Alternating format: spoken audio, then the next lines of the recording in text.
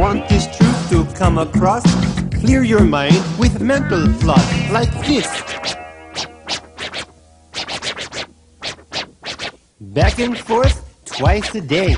You'll prevent truth decay.